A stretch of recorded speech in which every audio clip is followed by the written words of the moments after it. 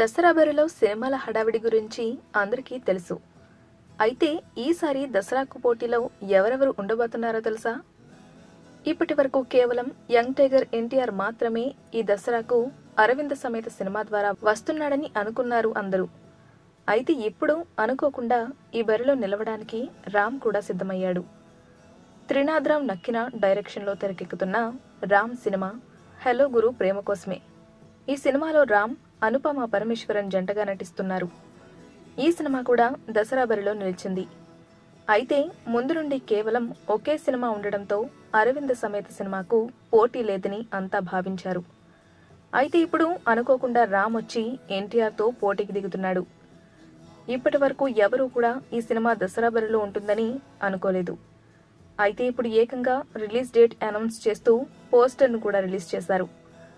Dasara శుభాకాంక్షలతో October పద్దెనిమిదిన వస్తున్నామంటూ ప్రకటించింది hello Guru Prema కోసమే సినిమా యూనిట్.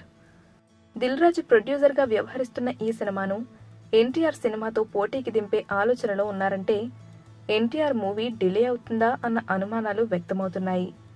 ఎందుకంటే దిల్ రాజు లాంటి టాప్ ప్రొడ్యూసర్ తన సినిమాను నష్టాల్లో చూడటానికి ఇష్టపడడు. అయితే ఎన్టీఆర్ సినిమా లేట్ అవ్వడం కారణంగానే ఈ సినిమాను అక్టోబర్ పద్దెనిమిదిన రిలీజ్ చేస్తున్నారని అంటున్నారు.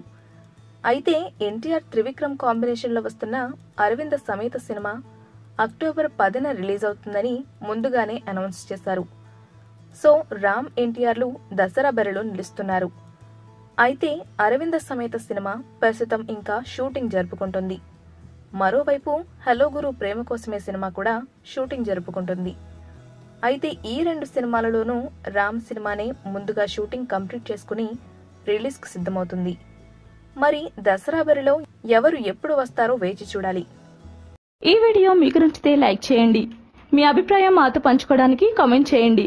అందరికీ రీచ్ అయ్యేలా షేర్ చేయండి. కానీ మా ఛానల్ని సబ్స్క్రైబ్ చేసుకోవడం మాత్రం మర్చిపోకండి.